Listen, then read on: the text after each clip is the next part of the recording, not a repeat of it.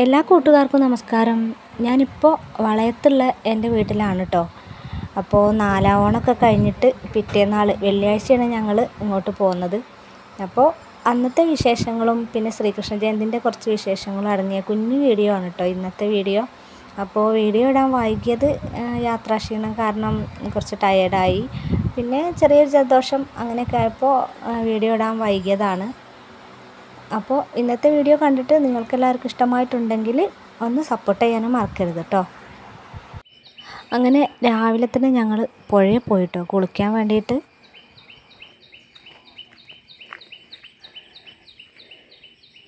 മണ്ണൊലിപ്പ് തടയാൻ വേണ്ടി നട്ടതാട്ടോ മുളകളൊക്കെ. അന്നത്തെ പ്രളയത്തിന് ശേഷം ഇപ്പോൾ ഇതാ മുളകളൊക്കെ വലിയതായി. അന്ന് നട്ട ബദാം കാത്ത് നല്ല വലിപ്പായ.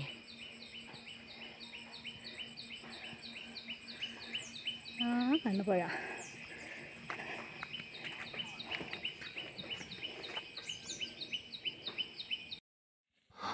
പിന്നെ പുഴയിൽ അധികം വെള്ളമൊന്നുമില്ല കേട്ടോ. പക്ഷെ അക്കരയ്ക്ക് നമുക്ക് ഇറങ്ങി കടന്ന് പോകാനൊന്നും കഴിയില്ല. ആഴമുണ്ട്. ചില സ്ഥലത്തൊക്കെ ആഴമുള്ള കുഴികളുണ്ട്.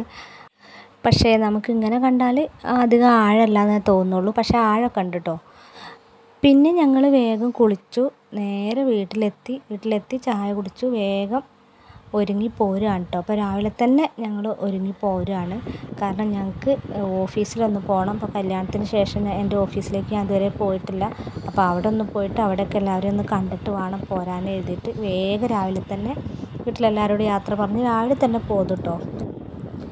അങ്ങനെ ഞങ്ങളൊരു പതിനൊന്നര മണിയായപ്പോൾ ഓഫീസിലെത്തി. ഓഫീസിൽ എല്ലാവരും ഒന്നുമില്ല. എല്ലാവരും ഓണത്തിന്റെ തിരക്കായതുകൊണ്ട്.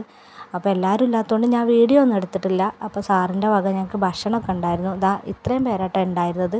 അപ്പോൾ അവിടുന്ന് ഭക്ഷണം കഴിക്കുന്നവിടുന്ന് കുറച്ച് ഒരു ഫോട്ടോസൊക്കെ എടുത്തു. ആ ഫോട്ടോസാണ് കേട്ടോ ഇതെല്ലാം. അവിടുന്ന് ഭക്ഷണം കഴിച്ചതിന് ശേഷം ഞങ്ങൾ വീട്ടിലേക്ക് തിരിച്ചത് ഒരു മൂന്ന് മണിക്കാട്ടോ. പിന്നെ വൈകുന്നേരം ഒരു ഏഴ് മണിയൊക്കെ ആയി ഞങ്ങൾ വീട്ടിൽ വളയത്ത് വീട്ടിലെത്തിയപ്പോൾ. അപ്പോൾ വീട്ടിലെത്തിയതിന് ശേഷം ഞങ്ങൾ എന്റെ വീട്ടിൽ നിന്ന് അതായത് മമ്പാട് വീട്ടിൽ നിന്ന് വാങ്ങിയ ഓണക്കോടി ഇവിടെ എല്ലാവർക്കും ഓണക്കോടി എടുത്തിട്ടുണ്ടായിരുന്നു. ആ ഓണക്കോടികളാണ് കേട്ടോ ഇതെല്ലാം. ഇവിടെ അച്ഛന് ഷർട്ടും മുണ്ടും മമ്മിക്ക് സാരി ബ്ലൗസ് പിന്നെ വലിയേട്ടനും അനിയനും ഷർട്ട് പിന്നെ പ്രസാദേട്ടന് ഷർട്ടും മുണ്ടും പിന്നെ കുട്ടൻ അതായത് എന്റെ ആങ്ങള അതായത് പ്രസാദന്റെ അളിയന്റെ വക ഒരു ടീഷർട്ട് പിന്നെ മാമനൊരു ഷർട്ടും ഷർട്ടിന്റെ തുണിയും ഒരു മുണ്ടും. പിന്നെ എനിക്കൊരു ചുരിദാറും ഉണ്ടായിരുന്നു കേട്ടോ അങ്ങനെ അങ്ങോട്ടും ഇങ്ങോട്ടുള്ള ഓണൂട്ടൽ ചടങ്ങൊക്കെ കഴിഞ്ഞു കേട്ടോ ഇനിയിപ്പോൾ അടുത്ത വർഷം ഓണം വന്നിട്ട് വേണ്ടേ? പിന്നെ രാത്രി ഒരു ഏഴര എട്ട് മണിയൊക്കെ ആയപ്പോൾ ഇവിടെ റോഡിൽ വെച്ചിട്ട് ശ്രീകൃഷ്ണ ജയന്തിന്റെ മുന്നൊരുക്കമായിട്ട് ഇവിടെ ലഹരിക്കെതിരെ ഒരു ചെറിയൊരു പ്രഭാഷണം ഉണ്ടായിരുന്നു.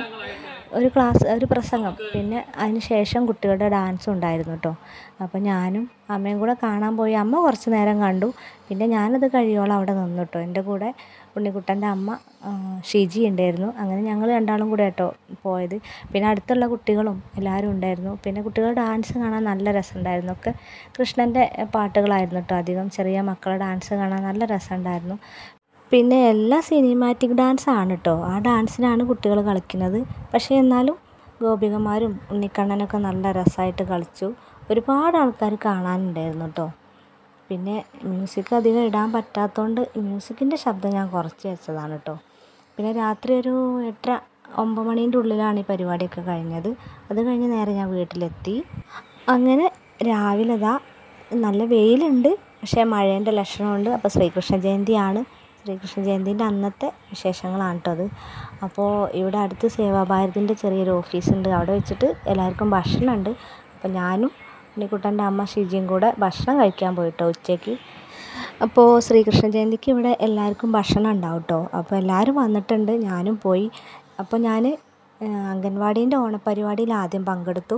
ഇപ്പോൾ ശ്രീകൃഷ്ണ ജയന്തിന്റെ പരിപാടിയിലും പങ്കെടുക്കുകയാണ്. അങ്ങനെ മൊത്തത്തിലൊന്ന് പരിചയമാവുകയാണ് കേട്ടോ. പിന്നെ വീഡിയോ ഞാൻ അധികം ഒന്നും എടുത്തിട്ടില്ല. കാരണം അറിയാത്ത ആൾക്കാരായതുകൊണ്ട് അങ്ങനെ വീഡിയോ എടുക്കാനൊക്കെ എന്തോ ഒരു മടി. അപ്പോൾ ഇതാ ഭക്ഷണം കഴിക്കുന്നോടൊന്ന് ചെറിയ കുഞ്ഞു വീഡിയോ എടുത്തിട്ടുണ്ട്. പിന്നെ ഭക്ഷണം കഴിച്ചതിന് ശേഷം ഇവിടെ തന്നെ ഇതാ ഉണ്ണിക്കണ്ണന്മാരെയും ഗോപികമാരെയൊക്കെ ഒരുക്കുന്നുണ്ട്. അമ്മമാരും അടുത്തുള്ള വീട്ടിലത്തെ ചേച്ചിമാരൊക്കെ ഉണ്ട്. അപ്പോൾ അവരുടെ കൂടെ ഞാനും കൂടിയിട്ടോ പിന്നെ ഷിജീന്റെ മോൻ ഉണ്ണിക്കുട്ടനും ചാരൂട്ടിയൊക്കെ ഉണ്ടായിരുന്നു കേട്ടോ ഒരുങ്ങാൻ പിന്നെ ഇതാ ഒരു ഉണ്ണിക്കണ്ണനെ കണ്ടോ. ഇത് അടുത്ത വീട്ടിലത്തെ ഷാജിയേട്ടന്റെ മോളാണ് കേട്ടോ പിന്നെ ഈ പൂവാണ് കേട്ടോ ഗോപികമാരെ തലയിലൊക്കെ ചുറ്റിക്കെട്ടി വെക്കുന്നത് മുല്ലപ്പൂവൊന്നുമില്ല പിന്നെ നല്ല മഴ വരുന്നുണ്ട്. ഏതായാലും കുട്ടികളൊക്കെ ഒരുങ്ങിയിട്ടുണ്ട്. ഇനി എപ്പോഴാണ് മഴ പെയ്യാന്നറിയില്ല. ഏതായാലും ഒരു അഞ്ച് മണിയൊക്കെ ആയപ്പോൾ ഘോഷയാത്ര പുറപ്പെടാൻ വേണ്ടി ഒരുങ്ങി. പിന്നെ കുട്ടികളുടെ അമ്മമാരുണ്ടായിരുന്നു ചേച്ചിമാരുണ്ടായിരുന്നു. പിന്നെ വലിയ ക്ലാസ്സിൽ പഠിക്കുന്ന കുട്ടികളൊക്കെ ഉണ്ടായിരുന്നു. എല്ലാവരും ഘോഷയാത്രയ്ക്ക് പോകാൻ വേണ്ടി ഒരുങ്ങി. പക്ഷേ ഘോഷയാത്ര തുടങ്ങിയത് ഒരു ഏഴര എട്ട് മണിയൊക്കെ ആയിട്ടുണ്ട് കേട്ടോ നല്ല മഴയായിരുന്നു. വൈകുന്നേരം ആറ് മണിയൊക്കെ ആയപ്പോൾ നല്ല മഴ പെയ്തു. അപ്പോൾ ഘോഷയാത്രയൊന്നും പോവാതെ എല്ലാവരും ഇങ്ങനെ നോക്കി നിൽക്കുകയായിരുന്നു കേട്ടോ പിന്നെ ദാ ഇങ്ങനെ ടാർപ്പായിന്റെ ഷീറ്റ് കൊണ്ട് ഇങ്ങനെ പന്തൽ പോലെ ഇതാക്കിയിട്ട് പിന്നെ ഘോഷയാത്ര തുടങ്ങിയിട്ടോ നല്ല നല്ല രസമുണ്ടായിരുന്നു കാണാൻ. മഴ എന്ന് പറഞ്ഞാൽ തകർത്ത് പെയ്യണ മഴയെന്ന് കേട്ടോ പക്ഷേ മഴേനെ ഒന്നും വക വെക്കാതെ ഉണ്ണിക്കണ്ണന്മാരും ഗോപികമാരും വളയം ടൗണും മൊത്തം നിറഞ്ഞാടിട്ടോ നല്ല രസമുണ്ടായിരുന്നു കാണാൻ. പിന്നെ ദാ ഈ ദൃശ്യം ഈ നിശ്ചല ദൃശ്യം എന്ന് പറഞ്ഞാൽ ഞങ്ങൾ ഇവിടെ ഉള്ള ആൾക്കാരുടെ കേട്ടോ അതായത് പ്രസാദേട്ടന്റെ സംഘത്തിന്റെയാണ്. പ്രസാദേട്ടൻ അവിടെ എവിടെയൊക്കെ ഉണ്ട് പക്ഷേ ഞാൻ കാണുന്നേ ഇല്ല. പ്രസാദേട്ടൻ ശരിക്കും പറഞ്ഞാൽ ഇവിടുന്ന് ഏട്ടനും അനിയനും എല്ലാവരും കൂടെ രാവിലെ വീട്ടിൽ നിന്ന് പോയതാണ്. ഞാൻ അവരെ പിന്നെ രാത്രിയായിട്ട് അവരെ അവരെയൊക്കെ കണ്ടത്. അപ്പോൾ നല്ല രസമുണ്ടായിരുന്നു കുട്ടികളുടെ ഡാൻസും. പാട്ടും. ശരിക്കും പറഞ്ഞാൽ എന്റെ നാട്ടിൽ ബാലഗോകുലം ഘോഷയാത്രയൊക്കെ കുറച്ചേ ഉണ്ടാവാറുള്ളൂ. പിന്നെ കാണണമെന്നുണ്ടെങ്കിൽ മഞ്ചേരി അല്ലെങ്കിൽ നിലമ്പൂർ ടൗണിൽ വരണം. പക്ഷേ ഇങ്ങനത്തെ ഒരു നിശ്ചല ദൃശ്യങ്ങളും ഡാൻസും പാട്ടും ഞാൻ ശരിക്കും പറഞ്ഞാൽ ആദ്യമായിട്ട് കാണുകയാണ് ഇത്രയും ജനങ്ങൾ അപ്പോൾ എല്ലാവരും പറയുകയാണ് ഇതിപ്പോൾ മഴ ആയതുകൊണ്ടാണ് അല്ലെങ്കിൽ എല്ലാ വർഷവും ഇതിലേറെ ആളുണ്ടാവും. പക്ഷേ എനിക്കിത് ഭയങ്കര സന്തോഷവും അത്ഭുതമൊക്കെ ആയിട്ടാട്ടോ തോന്നി തോന്നിയത്.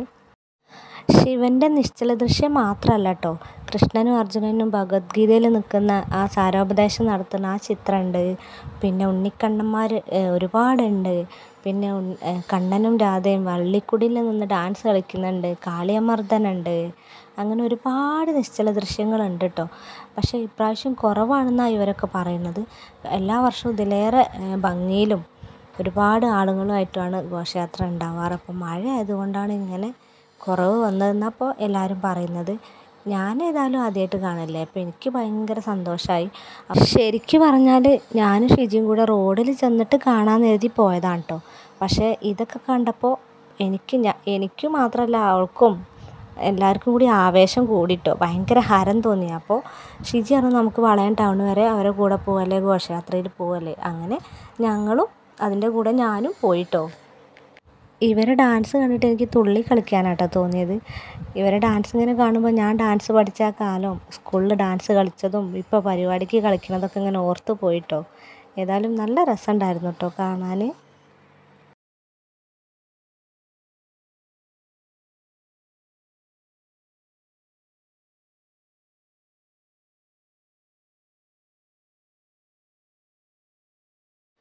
തകർത്ത് പെയ്യണ മഴയിൽ പല വർണത്തിലും പല വേഷത്തിലും പല നിറത്തിലും പല തരത്തിലും ഗോപികമാർ നിറഞ്ഞാടിട്ടോ കണ്ണന്റെ പരീക്ഷണത്തിലൊക്കെ ഗോപികമാർ വിജയിച്ചു എന്ന് തന്നെ പറയാം.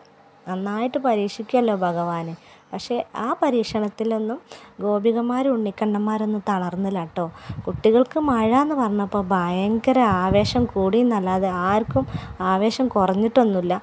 എല്ലാവരും മഴ കൊണ്ടിട്ടാട്ടോ കളിച്ചത്. അത് ആ നല്ല മഴ അങ്ങനെ പെയ്യുമ്പോൾ പല കളറിലും പല നിറത്തിലൊക്കെ ഇങ്ങനെ ഇവർ കളിക്കുന്നതും മഴന്റെ കളർ തന്നെ പല തരത്തിലായിരുന്നു കേട്ടോ അപ്പോൾ അത് കാണാൻ തന്നെ നല്ല രസമുണ്ടായിരുന്നു പിന്നെ എല്ലാ ഘോഷയാത്രയും കൂടെ വളയം ടൗണിലെത്തിയിട്ട് അവിടെ വെച്ചിട്ടായിരുന്നു കേട്ടോ പിന്നെ കുറച്ച് നേരം പരിപാടികളൊക്കെ. പിന്നെ അതാ ഒരു കാളിയമർദ്ദനത്തിന്റെ ഒരു ദൃശ്യം കണ്ടോ?